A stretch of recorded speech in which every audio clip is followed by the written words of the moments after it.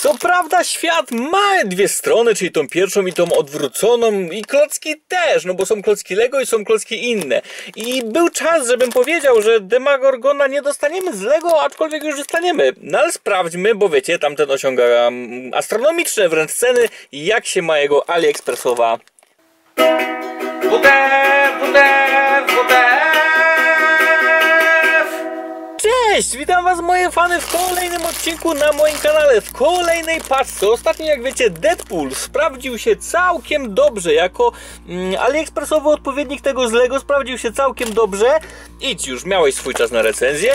No to dzisiaj czas na Demagorgona. Demagorgona, którego dostałem na urodziny kanału od tajemniczego fana, który nie chciał przyznać się kim jest i szkoda, bo wysłał mega genialną paczkę, a nie chciał się przyznawać kim jest. E, Demagorgon z Lego osiąga, tak jak mówiłem już, astronomiczne mm, ceny. Jeżeli go więc chcemy, to musimy posiadać naprawdę zasobny portfel. Jak więc to wygląda, jeżeli chcemy go mieć, ale nie do końca chcemy ten zasobny portfel odchudzić? No możemy udać się oczywiście na AliExpress i zobaczyć, jak sprawa wygląda mm, tam. Na pewno, wiecie, no AliExpress ma często to do siebie, że wygląda lepiej niż jest yy, w zabawie. No i chyba tu będzie to samo, bo ja już widzę, że te rączki chodzą ciężko, aczkolwiek nie na tyle ciężko, chyba żeby utrudniać nam tu zabawę. No ta chodzi jeszcze gorzej. Mm, spójrzcie, on dostał nawet całkiem fajne szpony, y, więc pewnie będzie ten sam dokładnie przypadek, co i bardzo często bywa mm, w, y, w, w, w AliExpressach, że będzie fajny wygląd, słaba jakość. W sensie może nie tyle jakość y, samego wykonania klocków, bo ta też raczej jest bez większych zastrzeżeń, ale bardziej chodzi mi tu o ruchliwość. O, tak powinienem może był to powiedzieć. Na AliExpress taką figurkę dostaniemy mm, za kilka złotych, pewnie 6-7 max, na pewno poniżej dyszki. Z Lego no cóż, no cóż moi drodzy, z Lego, no cóż można by rzec.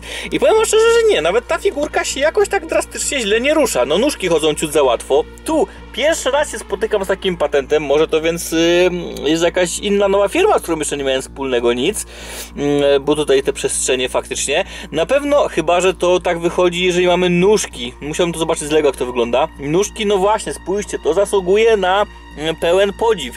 No bo wiecie, AliExpress czy skądś to mogli po prostu zrobić prosty odlew i się tłumaczyć Ej chłopie, dałeś za to 6 zł, czego jeszcze chcesz? No fajnie, że tego nie zrobiono że jest to w ten sposób y, tutaj pięknie mm, odlane. Gdyby zrobił jeszcze z tyłu na drugie, to żebym w ogóle padł. A jak wiemy, potrafi AliExpress czasem zrobić to lepiej niż Lego, zdecydowanie. Jak przyjrzymy się nóżkom, no to powiem szczerze, wow. Jakość na druku, wow. E, no naprawdę mięsiście, tutaj jeszcze te bruzdy gdzie nie, gdzie kolorystycznie fajnie pasuje przód do no, dół do góry, te pazury u nóg, te pazury u góry, mm, no naprawdę jest ok, z tyłu też fajnie, no i nawet ta tutaj buźka, spójrzcie, w wersji zwiniętej wygląda naprawdę ok, ja go widzę w niejednym horrorze, mm, jako wiecie, potwora głównego e, z Łego, no i mamy jeszcze tą główkę, która jest nakładana no, w ten sposób, w ogóle swoją drogą to po prostu jako kwiatek jakiś może być czy coś, czyli wersję rozwiniętą. I tutaj również nie będę miał za wiele do zarzucenia tej figurce, bo jest naprawdę ok. Farba wszędzie ładnie siadła, nie mamy jakichś wyjść, nie mamy jakichś niedomalowań, nie mamy jakiegoś złego koloru, czy po prostu brzydkiego koloru. I powiem wam szczerze, że ta figurka naprawdę jest figurką, jeżeli taka by stała u kogoś za gablotką, za szybą e, na półce, to w życiu bym nie powiedział, że to jest podróbka, bo wygląda po prostu jak najbardziej legitnie, strasznie też, tak jak i, po, tak jak i mm, powinna wyglądać, czyli jak wyglądała w serialu i jak najbardziej i kolorystyka i wszystko tutaj gra mm, tak jak w Lego. Oczywiście, gdy chycę tą figurkę w ręce i zacznę poruszać pojedynczymi elementami, to zobaczę, że nóżki chodzą ciut zbyt lekko, że ręce chodzą ciut zbyt ciężko i dopiero jednak po tym dotyku zorientowałbym się, że mamy tutaj do czynienia z, mm, z podróbką, czy chociażby po podstawce, no bo nie ma napisów na studach, ale załóżmy, że jest bez podstawki.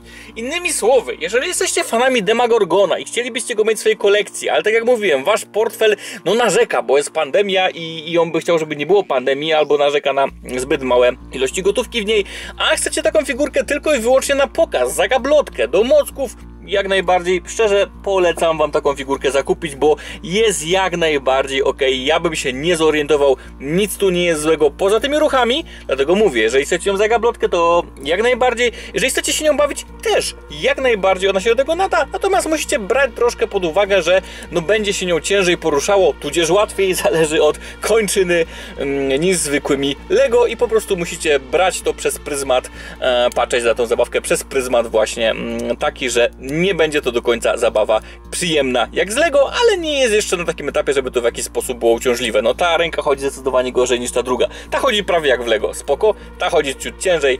Jedyny, mówię, dyskomfort spowodowany tym, że ta zabawa może nie wygląda tak pięknie i płynnie jak w Lego, ale na gablotkę jak najbardziej złoto, moi drodzy, polecam. Dzięki, że byliście dzisiaj ze mną. Oczywiście figurek z AliExpressa jeszcze będzie u mnie dużo, no bo one cały czas zasługują, a szczerze to między sobą też się trochę różnią, w sensie bywają lepsze, bywają gorsze, generalnie wszystkie są na dobrym poziomie, ale niektóre gdzieś tam mają jakieś odchyły w stronę gorszości, niektóre lepszości.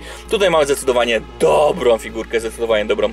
Zostawcie subskrypcję, by nie przegapić przyszłych dobrych, jak i złych recenzji i na jedne i na drugie was teraz zapraszam. Góry macie jakieś inne dobre klocki, które mogliście nie znać, a okazały się dobre, a na dole znowuż klocki, które okazały się fatalne po prostu. Dzięki, że byliście dzisiaj.